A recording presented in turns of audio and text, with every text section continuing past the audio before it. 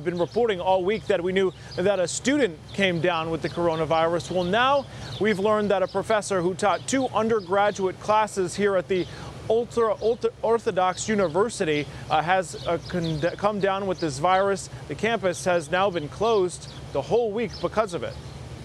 In a city of 8.5 million people, 2,800 are being quarantined five days after the first novel coronavirus case emerged in New York.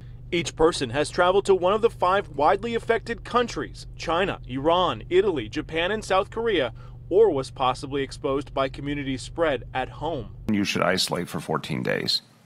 And obviously, if you have symptoms, then you need to get to care uh, and testing. Anyone who refuses a health department order could face consequences of fines or prosecution, according to Mayor de Blasio. We believe in a containment strategy. We understand there are limits to that at a certain point, but that is the strategy we're using. In Westchester, at the epicenter of the New Rochelle outbreak, 1,000 people are under similar orders. We'll see how many of those generate into actually cases of, uh, of active uh, virus. Currently, 22 people in New York are confirmed victims of the virus.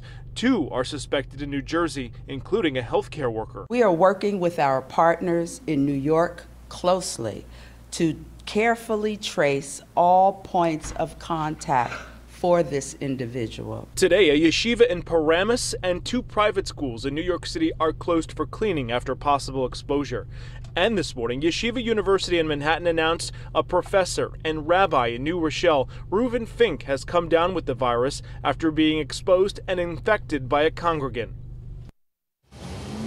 Separately, the Spence School and the Collegiate School here in Manhattan have been closed down for the day because they believe uh, someone who attends that school has family that traveled to one of the widely affected areas. Uh, both, however, are expected to reopen on Monday. As for the status of the university here, that still remains unclear.